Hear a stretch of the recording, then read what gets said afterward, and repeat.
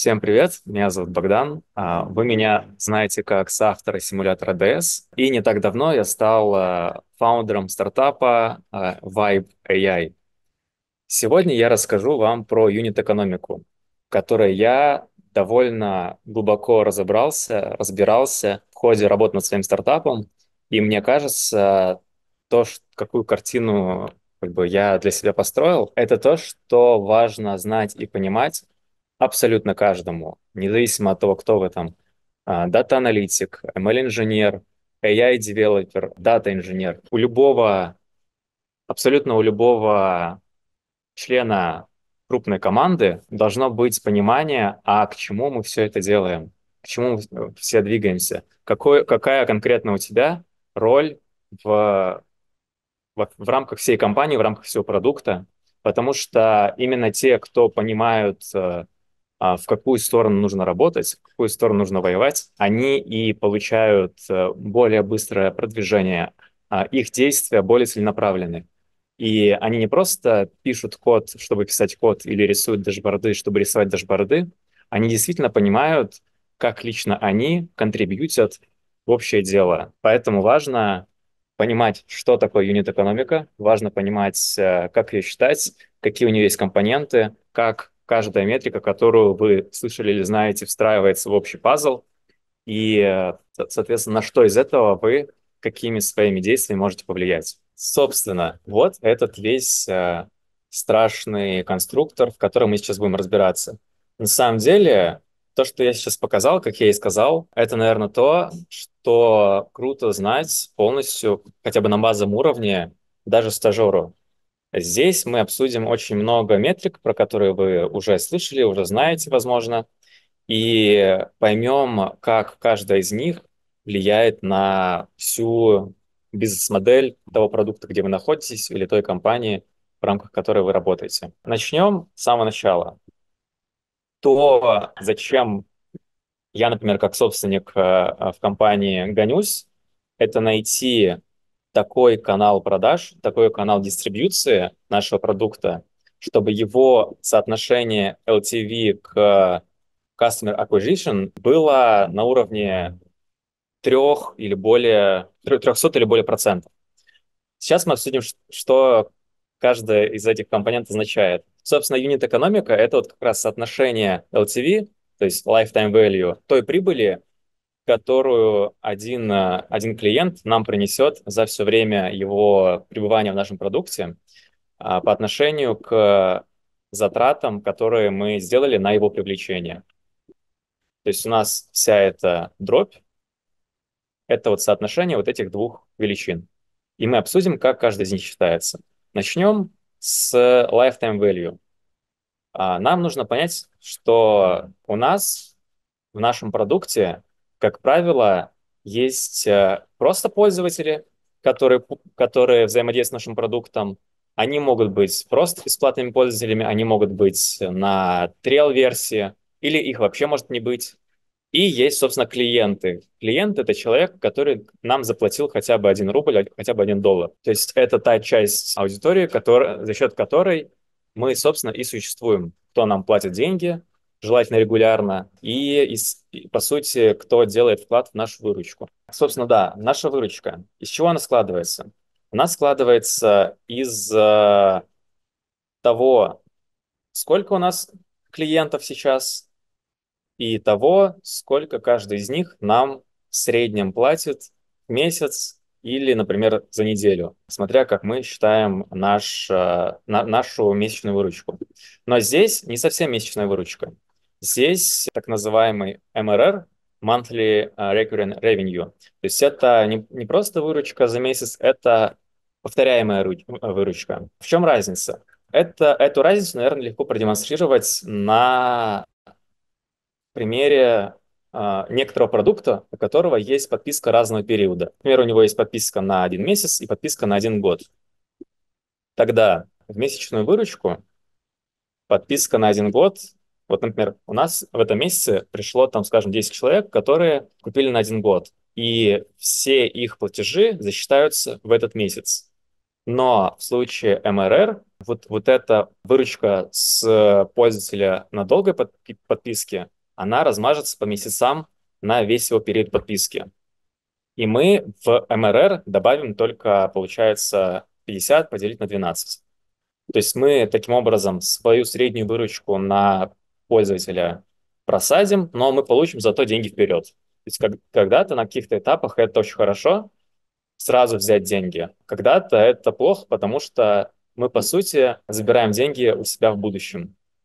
Но чтобы мы эти деньги у себя в будущем получили чисто из месячных подписок, нам нужно, чтобы наш клиент а, оставался в нашем сервисе. Для MRR у нас в симуляторе DS, кстати, есть задача. И здесь а, очень классная демонстрация, как а, выглядит структура вот этой вот а, месячной повторяемой выручки.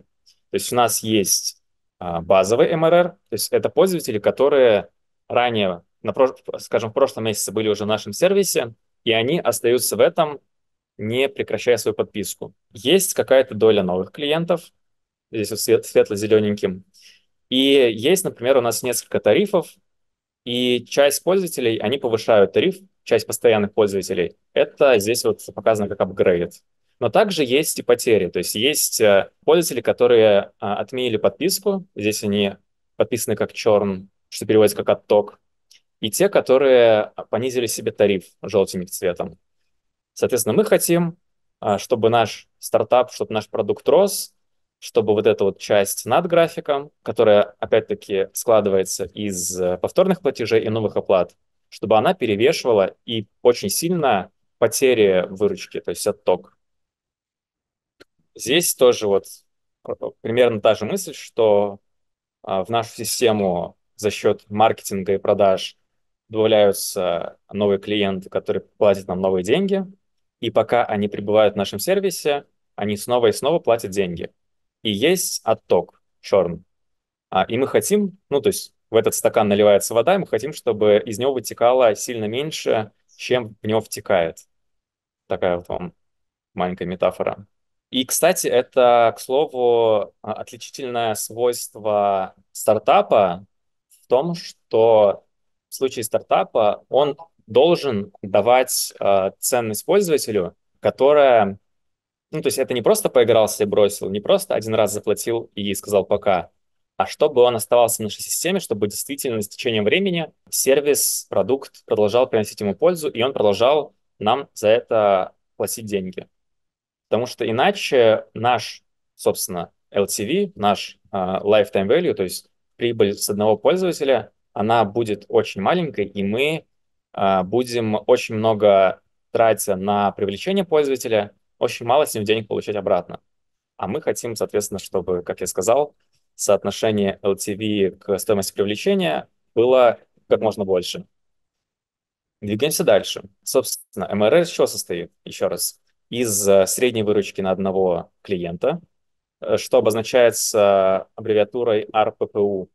Про это, кстати, у нас есть задача в симуляторе DS. И э, число клиентов. То есть мы хотим расти вширь, и в то же время с одного пользователя хотим какую-то нормальную сумму получать. Мы можем контролировать то, сколько мы денег получаем с одного пользователя, за счет чего?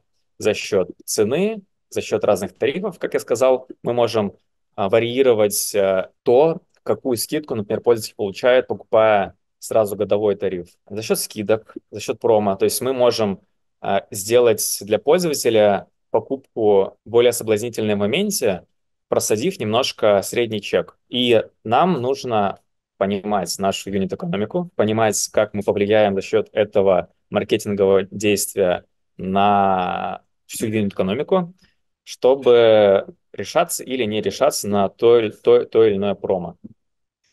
И, соответственно, мы еще говорили про число клиентов.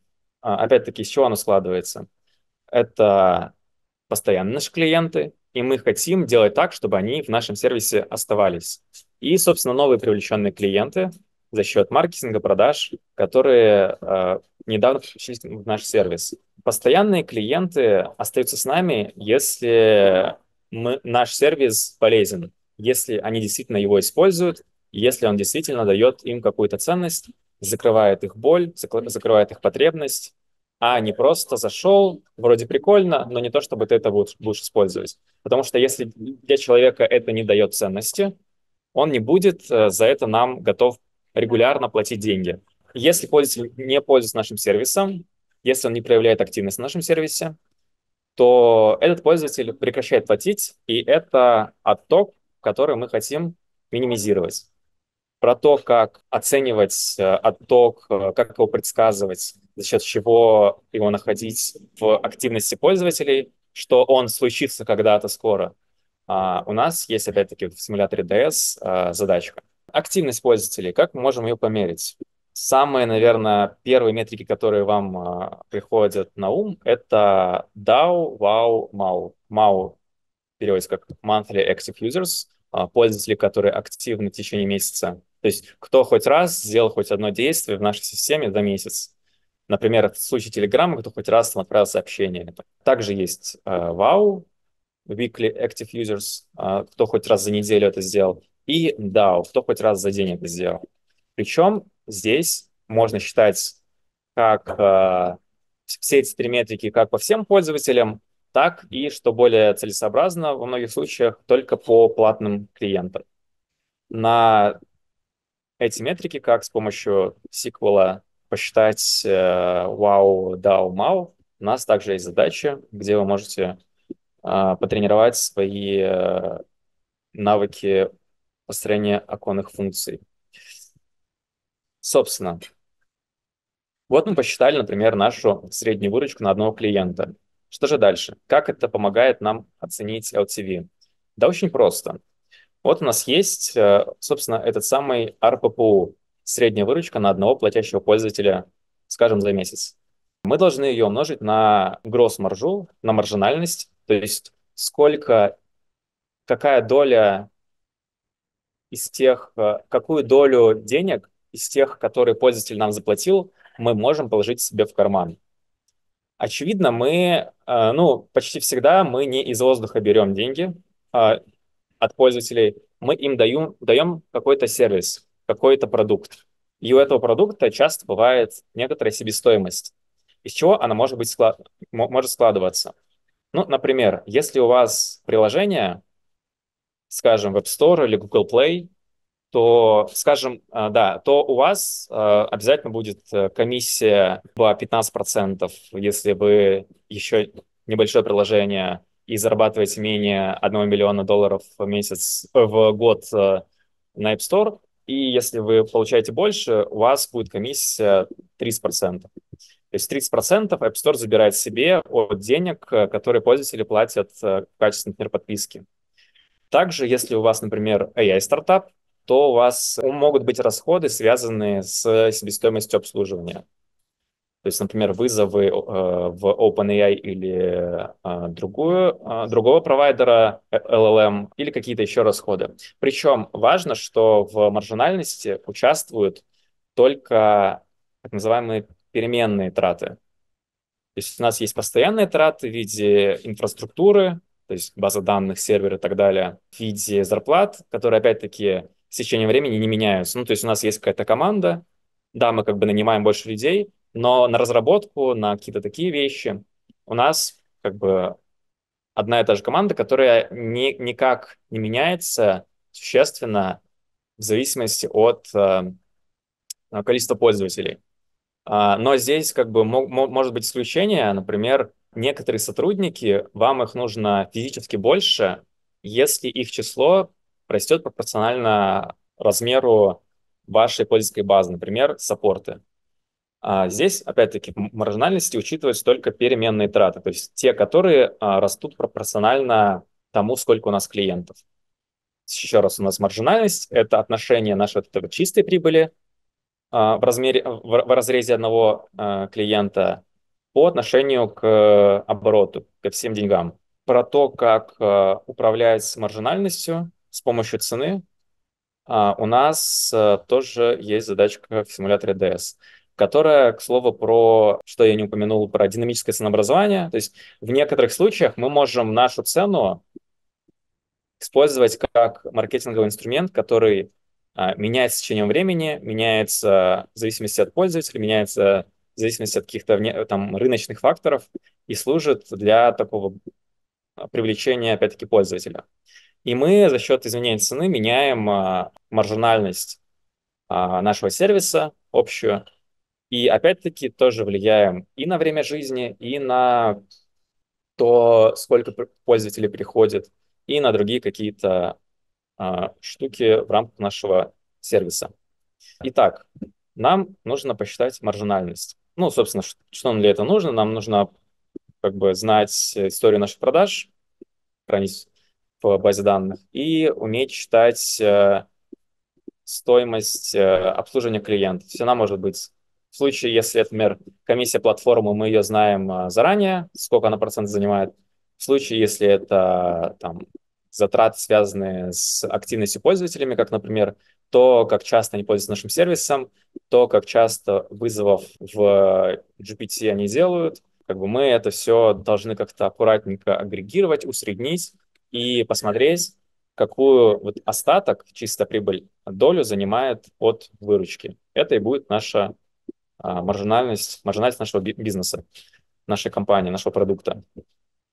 Если мы умеем ее считать, то перемножив одно на другое, а, месячную выручку на маржинальность, мы получаем, можно сказать, value, а, месячная value, сколько нам, месячную прибыль, сколько нам один клиент приносит каждый месяц пока он остается на подписке.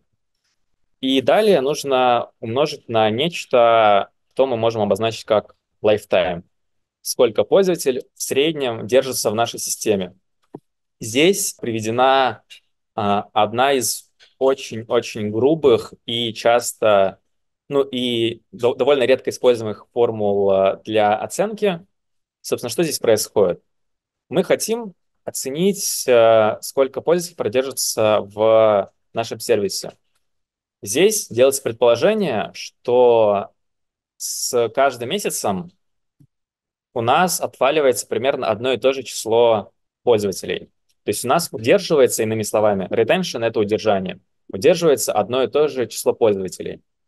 Собственно, если мы э, посмотрим на формулу, то есть вот мы взяли в первом месяце у нас будет как бы пользователь купил один раз на один месяц, он как бы точно будет, то есть у него lifetime точно будет как минимум месяц. Как посчитать, сколько пользователей будет, э, ну, какой в среднем lifetime будет э, на два месяца? Ну, нам нужно взять один плюс R, э, R здесь как бы как раз процент удержания. И у нас получится вот 1 плюс R. А сколько, сколько пользователей доживут до третьего месяца? До второго дожила R, значит, до третьего доживет r в квадрате. Соответственно, суммарно, если мы вот такой вот как бы обрезанный LTV будем считать, по трем месяцам это будет 1 плюс r плюс r в квадрате. И эта величина, она, ну, это такой как бы убывающий, убывающая сумма, убывающий ряд. То есть, соответственно, опять-таки на четвертый месяц это будет r куб и так далее. И из школьной э, математики мы знаем, как э, превратить этот э, сходящийся ряд э, в некоторую формулку. С помощью простейших операций мы получаем 1 поделить на 1 минус r. r удержание. Вот этот 1 минус r, это, соответственно, процент а, черно. Эта формула, опять-таки, повторюсь, грубая, ее редко используют. Это какое-то такое очень, а, очень базовое, примитивное представление, как вот можно посчитать lifetime. И я чуть-чуть позже расскажу, а как это лучше считать. Но зная некоторый абстрактный lifetime, умея предсказывать, а сколько пользователей продержится в нашей системе и сколько он нам в а, месяц приносит прибыли, разница между выручкой и всеми затратами, мы можем оценить, собственно, lifetime value. То есть сколько нам пользователь за, свое, за всю свою жизнь принесет. Но, к слову, часто считают не абстрактный lifetime на все время жизни, а, например, lifetime а, в разрезе года. То есть если пользователь вот сегодня пришел, то мы оцениваем, а сколько вот он за год может в среднем принести. То есть то, что будет дальше, нас а, пока что не сильно волнует. Нам интересно, насколько он окупится в диапазоне года. И правильнее моделировать lifetime с помощью разных распределений, с помощью разных оценок, и я в конце покажу, как это можно сделать. Но а, вернемся к тому, а что влияет на lifetime еще раз. Как я сказал, это, э, как бы на него влияют затраты, на него влияет, сколько в среднем нам пользователь платит, и удерживается ли пользователь в нашем сервисе, в нашем продукте. Продукт а, — это некоторая такая штука. Продукт — это с чем пользователь может взаимодействовать. То есть, например, это может быть контент обучающей платформы, это может быть какой-то AI-сервис, это может быть э, мобильное приложение. В Y-комбинаторе говорят, что э, очень хороший продукт — это отличный продукт, это 80% вообще успеха для твоей компании. То есть продукт — это тоже, на самом деле, часть в каком-то смысле маркетинга, потому что он показывает э, пользователю, он доносит пользователю что-то, он дает ему, ну, решает его какую-то проблему. И если он это делает хорошо, то а, пользователь настолько доволен нашим продуктом, что он рассказывает о нем своим друзьям. Вот я рассказал про lifetime, то есть это в среднем а, сколько пользователь продерживается в нашем сервисе. А, но я упомянул такую величину, как retention, удержание. Retention — это, как говорят, важнейшая метрика для продукта. Как она выглядит? У нас, кстати, есть на это задача в симуляторе. Ну, например, вот. А, retention — это какая доля пользователей из тех, кто в некоторый день ноль купил э, первую подписку, какая из них доля останется на второй месяц, на третий месяц, на четвертый месяц, на пятый месяц и так далее. И в хорошем продукте, который нашел свою а, product market fit, и сейчас мы обсудим, что это, вот, этот, э, вот эта кривая, она выходит на некоторое плато. Она выходит на плато, например, там, на 40%, на 30%, на 20%. Но если она не выходит на плато, то это плохой продукт, который, как я сказал, пользователь зашел, поигрался и бросил. Это не то, что будет решать его проблему в течение длительного времени. Хороший продукт — это тот, у которого какая-то доля пользователей задерживается на очень долго. То есть она продлевает из месяца в месяц и не отваливается. Это значит, что продукт реально закрывает боль, реально закрывает потребность для какой-то какого-то множества аудитории. Да, не для всех, это не страшно, это у всех продуктов так, у всех приложений, у всех компаний, но должна быть доля пользователей, для которых он реально решает какую-то боль. А, и, собственно, retention, то решает ли твой продукт для кого-то какую-то важную боль, за которую пользователь будет регулярно готов платить или нет, это есть ну, какой-то такой ключевой вопрос твоей компании. Если ты не нашел вот этот самый product market fit, когда продукт нашел свою аудиторию, нашел свой рынок, а если этого нету, то ты не будешь расти, у тебя пользователи будут заходить и отваливаться. То есть у тебя будет очень низкий LTV, а, очень низкое соотношение lifetime value к стоимости привлечения клиента. И мы хотим, чтобы это соотношение, как я сказал, было как можно больше, чтобы LTV был выше, чем стоимость привлечения в три раза, в четыре раза, в пять раз, а то и больше, 10 бывает. А, но считается от трех хороший показатель. То есть если мы, например, потратили на весь маркетинг по, в разрезе одного клиента 20 баксов, и у нас LTV 60 баксов, это очень хорошо. Вот, собственно, если посмотреть, вот, вот за счет вот того, что вот это вот э, кривая ретеншена, кривая удержания, то есть вот это вот соотношение, кто в целом мог бы к этому моменту, к этому дню а, остаться в нашем сервисе, и кто реально остался, кто реально продолжает пользоваться нашим сервисом, вот это соотношение, вот видно, если оно выходит на плато, то вот этот вот толстый хвост под графиком, он и превращается в наш очень большой LTV, в, на, в, на, в нашу вот эту большую, большие длинные деньги. И, соответственно, если мы привлекаем новых клиентов, у нас вот эта вот а, большая большой хвост, он как бы продолжает расти. То есть у нас нет такого, что как бы он угасает, улетает в ноль, и LTV, ну, как бы конечный, так очень конечный, и в, в, в очень короткое время пользователь отваливается. У нас как бы желательно, как бы, чтобы какая-то была доля аудитории, которая с нами очень надолго. Ну, вот пример, кстати, ретеншена у Netflix. То есть видно, что, ну, может быть, да, не совсем прям на плато на плато, но вот здесь, э, кажется, это в неделях или, может быть, даже, ну, я, я так предполагаю, в неделях. И видно, что вот э, красная, желтенькая когорты, да, вот они вот, ну, такие вот, такой длин, длинный вот хвост превращаются. Тоже, ну, при, примерно вот сглаживаются вот эти вот кривые ретеншена по разным категориям пользователей, по разным группам пользователей. Смотрят ретеншн часто вот, вот кто пришел там первый месяц, во второй месяц, там, там, или там в первое полугодие, там, во второе, в третье, чтобы как-то сравнить, а как у нас там старички удерживаются, и как там какие-то новые там а, пользователи из новых каналов продаж удерживаются в нашем сервисе. Если вот эта кривая еще раз выходит на плато, значит наш продукт э, сметчился с некоторой, с некоторым сегментом аудитории, на которую мы распространяли свои маркетинговые активности. Значит, найден так называемый PMF, Product Market Fit. И двигаемся дальше. Э, если у нас хороший, ну, если у нас отличный продукт, если он очень хорошо удовлетворяет пользователей, то о нем, ну, то пользователи будут удовлетворены, и он им будет настолько нравиться, что они будут невзначай рассказывать о нем друзьям, коллегам, кому угодно. Ну, то есть они будут сами являться нашими такими вот маркетологами, то есть они будут сами распространять э, наш продукт.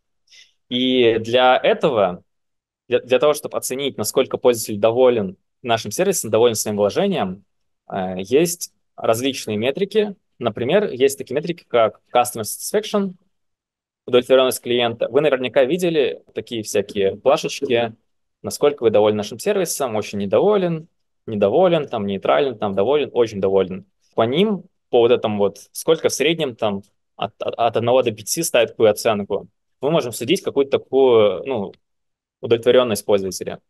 И вторая метрика, которая нас интересует, это NPS, а, Net Promoter Score. Вы наверняка видели плашечки в виде, насколько вероятно, что вы порекомендуете наш сервис э, другу или коллеге от 0 до 10. Я такие видел даже в супермаркетах а, после оплаты. А, и там стоит таких вот 11 кнопочек. На самом деле эти цифры там не просто так. Эти цифры важны, чтобы а, мы как компания могли посмотреть, какая доля поставит, а, например, очень высокую оценку, например, 9-10, и какая поставит очень низкую оценку, и ниткой считается 6 и меньше. Те, кто поставил 9-10, это, скорее всего, пользователи, которые настолько довольны, что они будут даже рассказывать друзьям. NPS, то, насколько он высокий, очень коррелирует с а, вирусностью очень коррелирует с тем, насколько вот продукт растет сам собой. То есть, что не просто ну, мы делаем усилия, чтобы привлечь новых пользователей, а пользователи сами рассказывают друзьям, сами делятся и так далее. Чтобы они делились, нужно, чтобы у нас большая категория пользователей попадала в категорию 9-10, то есть чтобы они ставили восторженные высокие оценки. И как далее считается NPS? Мы берем, вот как я сказал, те, кто поставили оценку 9-10, а, это так называемые промоутеры. Те, кто поставил а, до 6 включительно, это детракторы. То есть промоутеры — это те, кто будут а, ну, промоутить наш сервис, рассказывать про него. И детракторы, кто будет говорить, типа, ну, нет, говно какое-то неудобное, там, ну, такое себе. И, и нам хочется, чтобы процент промоутеров был сильно-сильно больше, чем процент вот этих вот, ну, неудовлетворенных пользователей. И э, мы считаем NPS как процент промоутеров минус процент детракторов. То есть в любом случае будут пользователи недовольны. Но хочется, чтобы процент э, очень довольных был э, как минимум на 30, на 50 процентов больше, чем э, э, детракторов, чем, чем неудовлетворенных. Здесь имеется в виду процент от общего числа пользователей. У нас есть еще нейтральные, кто поставил 7,8. Они можно сказать, сомневающиеся. Ни туда, ни сюда. То есть они не будут особенно говорить, что очень сервис плохой. То есть им он, может быть, нравится, но еще не настолько, чтобы они прямо его обожали. И э, для нас, как для компании, это некоторая такая категория пользователей, над которыми нужно работать, с которыми нужно а, активно общаться, в которых нужно узнавать, что мы как компания должны сделать, чтобы сервис больше их удовлетворял. Соответственно, те, кто поставили 9.10, они уже рекомендуют друзьям, они уже рассказывают, и мы тоже, кстати, можем с ними созваниваться, общаться и узнавать, а за что они полюбили наш сервис, что им больше всего нравится, какие конкурентные преимущества нашего продукта, нашей компании мы должны э, усиливать, раскручивать сильнее, чтобы еще больше э, радовать пользователей. Те, которые поставили 7.8, они не настолько пока обожают, и, но они как бы, если активно пользуются, мы можем у них узнавать, чего еще не хватает, вот что вот бесит, что раздражает, вот где еще что-то не идеально и так далее. Ну и, соответственно, есть те, кто очень недоволен, и с ними нужно быть осторожнее. То есть тоже ждать, если, если они активно очень пользуются, и они все еще недовольны, это круто. То есть такие раздраженные пользователи, как правило, подсвечивают какие-то очень такие важные там, баги, проблемы, которые некоторые игнорируют, не замечают, умалчивают, чтобы нас не обидеть. Но вот их тоже нужно очень активно слушаться.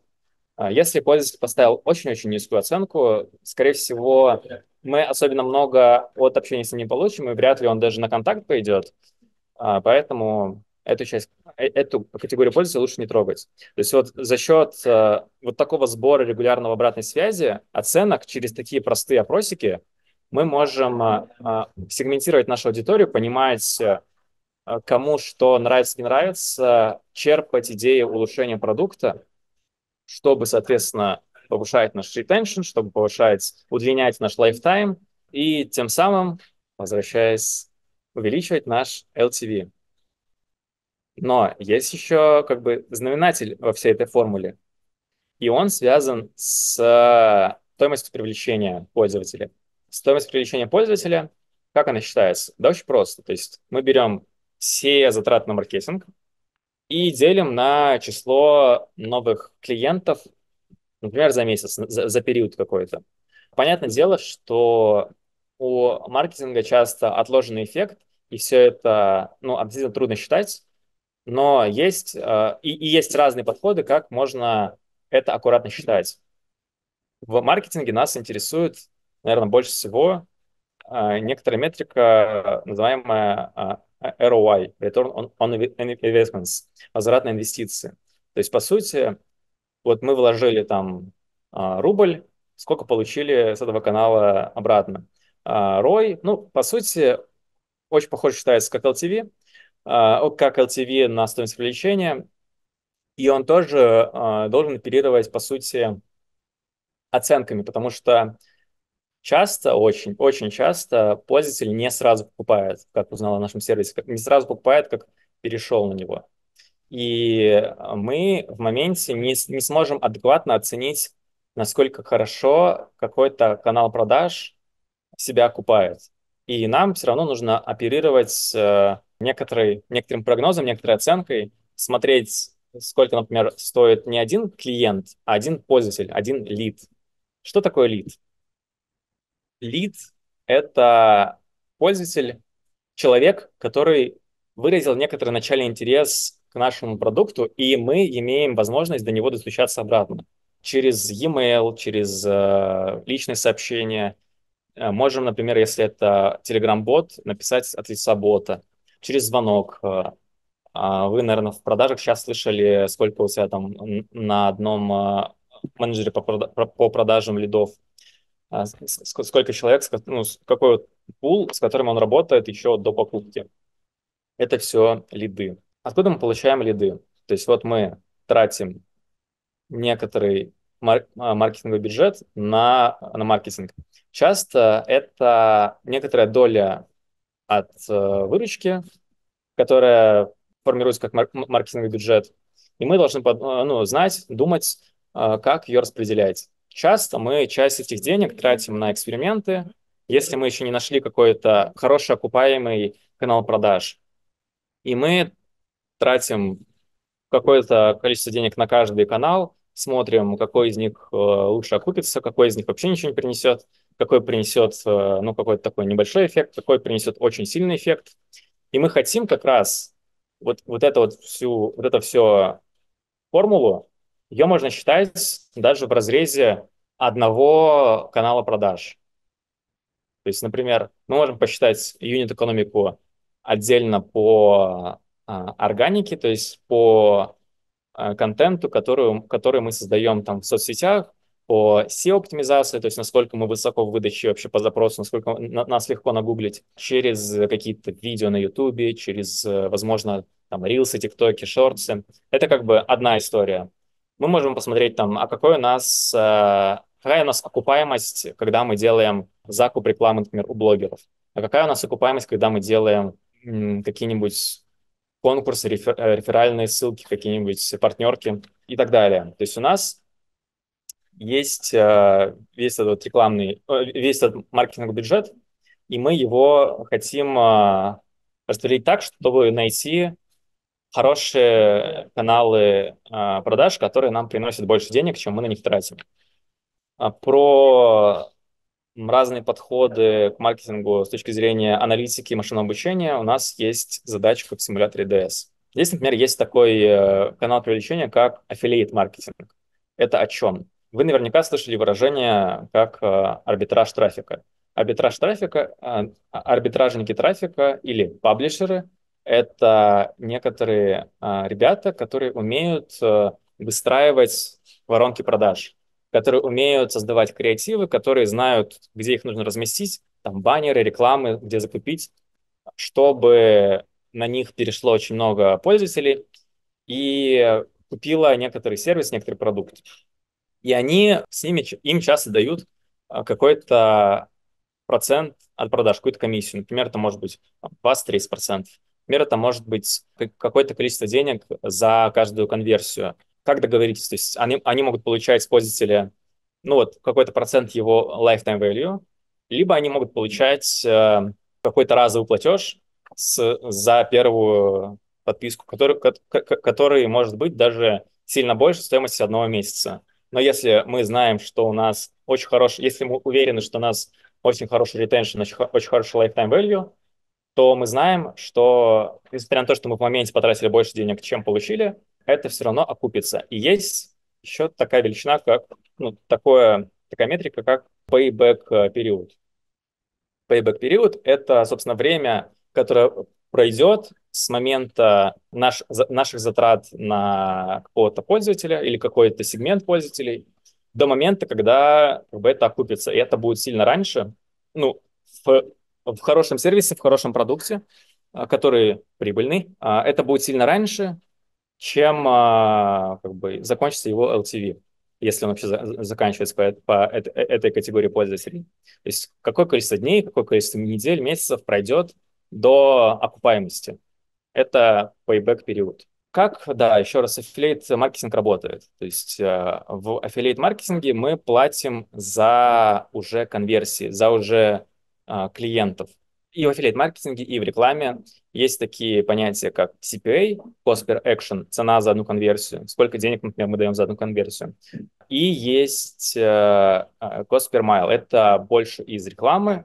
Какая стоимость у нас тысяч показов, например в случае именно Cost per Mile. Если мы, например, рекламируем наш сервис через э, площадки вроде Telegram Ads, э, вроде ТикТоков э, и так далее, а, вроде Яндекс.Дзен, то у них есть ты как человек, который, ну, как рекламодатель, ты можешь выставлять CPM, то есть сколько ты готов денег потратить на тысячу показов.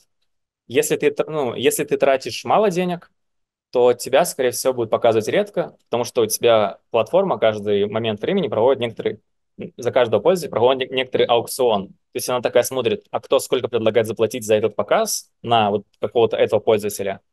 И если у тебя маленькая цена за тысячу показов, тебя будут показывать редко, и твой рекламный бюджет будет реализовываться очень медленно. Если у тебя очень большой э, CPM, ты выставил его большим, то тебе покажут довольно быстро и прокрутят твой бюджет быстро. Но, как бы, опять-таки, CPM, он э, влияет на то, сколько ты все равно денег потратишь на этот канал продаж. То есть кому-то важно быстро привлечь, э, быстро собрать показы, быстро собрать пользователей. Кому-то это менее важно. И тут еще это очень зависит, ну, вот эта хорошая стоимость э, за показы зависит от сегмента аудитории, на который, соответственно, ты таргетируешь свою рекламу. Но, допустим, ты вот какую-то рекламу показал. У рекламы есть такой важнейший показатель, как CTR, click-through rate. Какая доля пользователей, какая доля человек из всех, кто увидел, в итоге переходят на твой продукт и становятся твоим лидом, который мы обсудили. И, соответственно, у нас есть э, conversion rate, какая доля лидов, кто пришел в твой продукт, пришел в твой сервис, в итоге становятся клиентами. И вот это вот соотношение клиентов к лидам, оно называется uh, conversion rate или ну, просто конверсия. И ты, когда оцениваешь, анализируешь некоторый новый канал привлечения, ну или даже если какой-то старый, то ты смотришь на вот эту всю воронку. Сколько человек примерно увидят, эту рекламу, сколько из них перейдут и станут лидами, какой процент, сколько человек в итоге останется. Из всех, кто стал лидом, какая доля а, станет клиентом а, по твоим прикидкам. И так ты можешь оценить, собственно, Customer Acquisition Cost по этому каналу.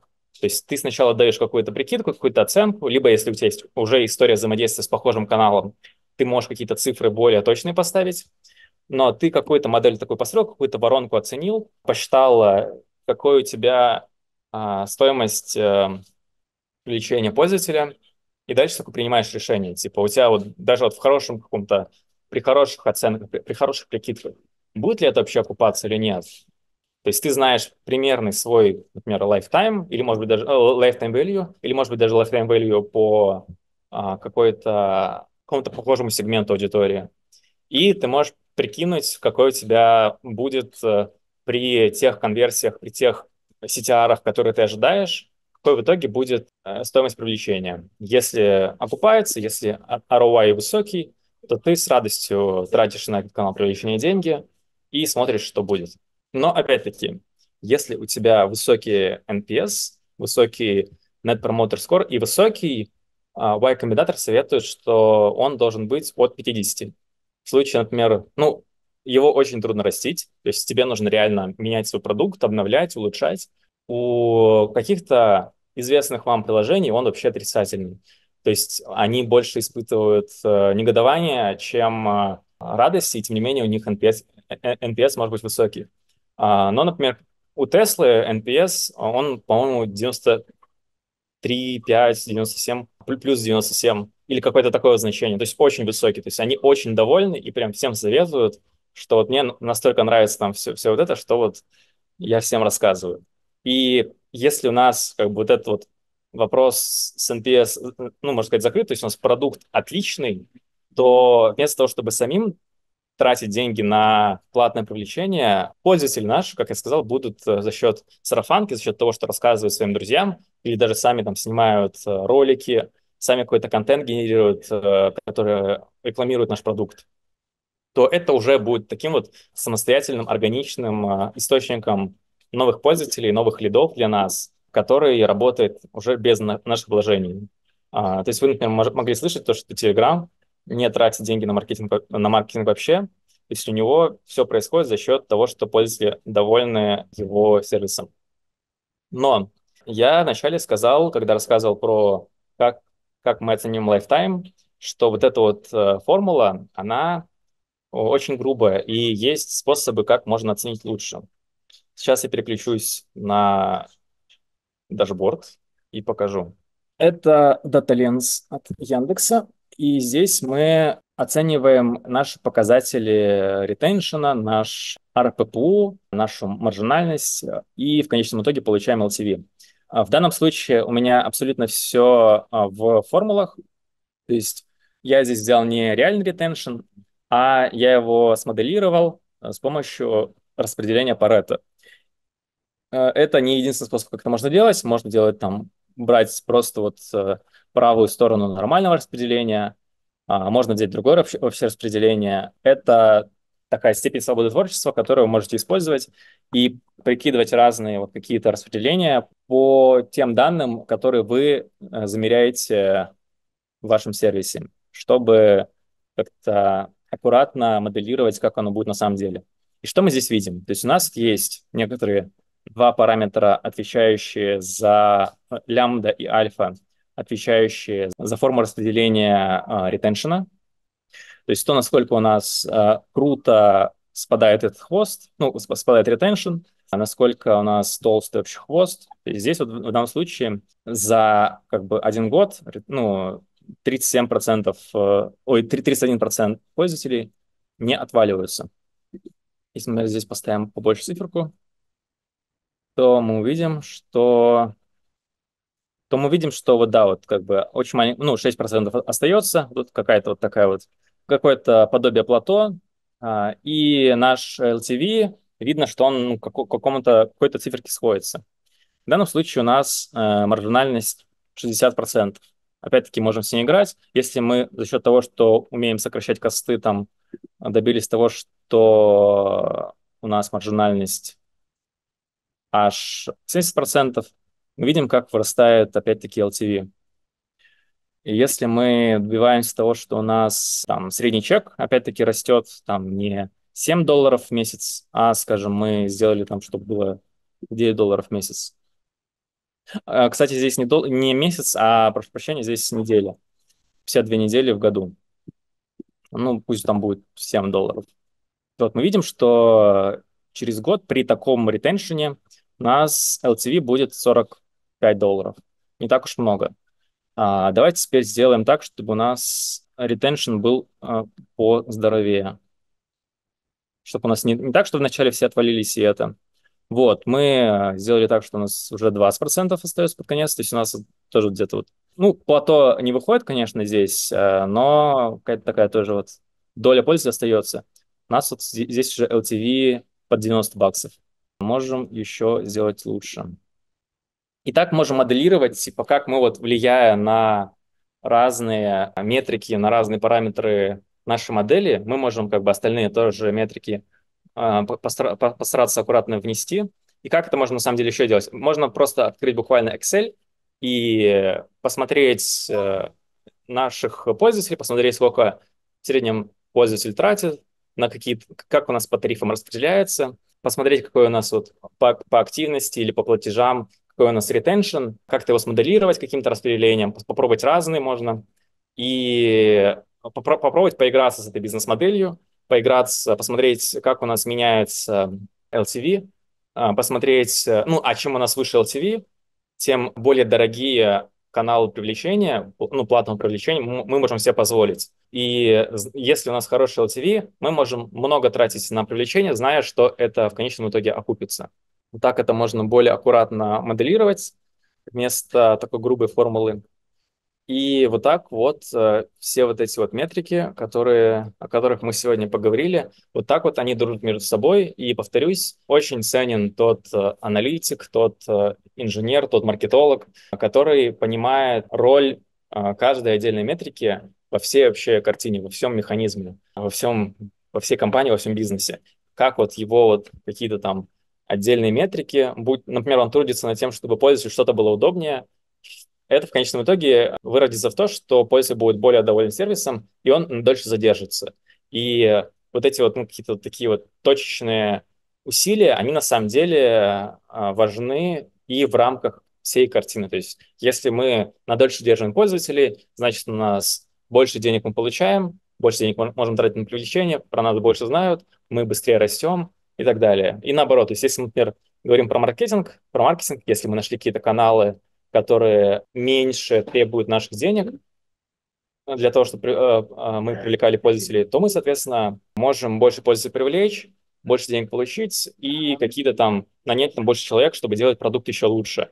И опять-таки увеличивать э, LTV. То есть все друг с другом взаимосвязано и очень ценится и очень важно понимать роль каждой метрики во всей системе. Спасибо всем за внимание. Я крайне надеюсь, что это повествование, этот рассказ э, этот разбор, как устроена юнит-экономика, зачем она нужна и как, что с чем взаимосвязано, что он был полезен для вас, для вашей карьеры, для ваших задач, для ваших продуктов и, возможно, для вашей будущей или нынешней компании. Всем спасибо, всем пока.